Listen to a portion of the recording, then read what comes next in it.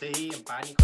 Bueno, pero acuérdate que no podemos hacer, si no podemos Ah, sí, hacer cierto. pan de plata, ¿no? Tampoco podemos hacer pan de, pan de No, zanahoria. pan de zanahoria, yo creo que sí, pero ¿nos ibas a decir algo, Pola?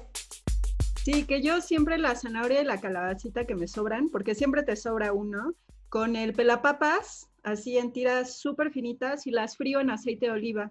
Las pongo a secar en pues servilletas y ya se la pones a tu ensalada y ya tienen como este elemento crunchy, que pues es ahí la que te quedó toda fea. Ya encontré mi receta de la salmuera. ¿Quieres que la dé o quieres que... Pues ahí échala, diga? échatela de una vez.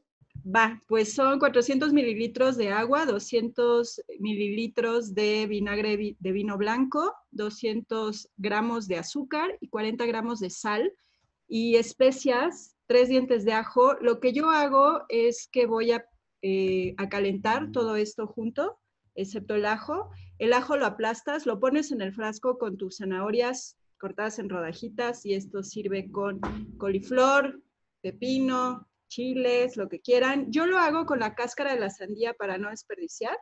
Le quito lo verde oscuro y luego la corto en tiritas y queda como pepino cuando lo haces en salmuera. Quedan como pepinillos de sandía. Órale. Ay, qué rico. Ok, órale, suena bien, ¿eh? El tip de la semana. Sí, está muy bueno.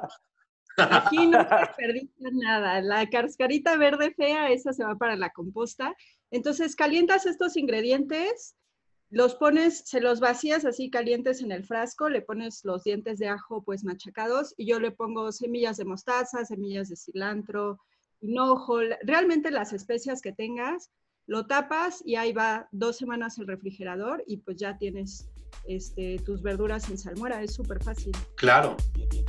Mira, ese es otro tema. Ese hay que dejar el saldo de los tomates verdes, hay que dejarlo para el próximo programa, para que también la gente nos escuche,